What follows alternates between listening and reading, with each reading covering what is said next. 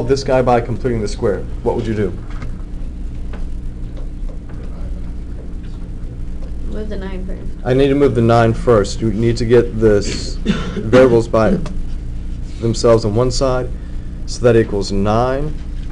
Divide by 2 and square it, right? Divide by three. Do not do any dividing by 2 and squaring it until you have an x squared here. I've got 3. I don't like that. So we'll divide everything by that coefficient. So I have what now? x squared minus 4x is equal to 3.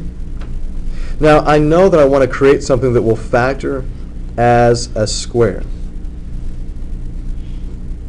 You need to tell me what that is. What's half of negative 4?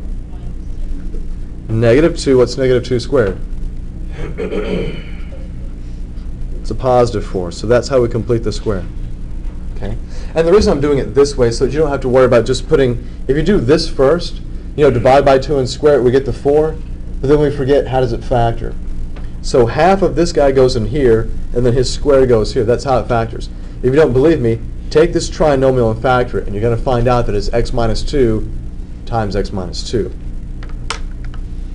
So x minus 2 quantity squared equals 7. And then what do you do?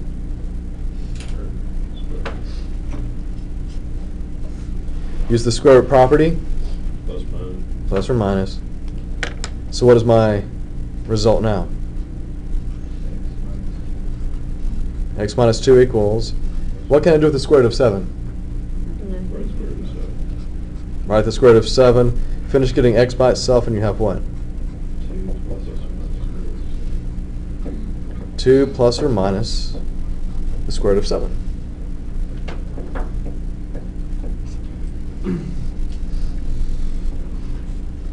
Nice and easy, right? This is what you want to make note of here. Okay? Don't use completing the square if it will create fractions. Don't don't do it. Just just don't. Okay? Here are the things that you want to look for. These are the clues that completing the square is good. Okay? Completing the square is good when you have 1x squared and the coefficient of x, whatever that guy is,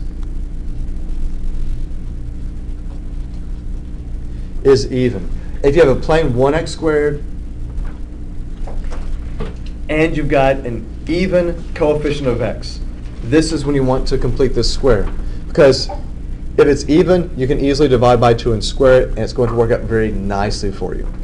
If you don't have that, or it's going to create fractions, don't do that. Do something else.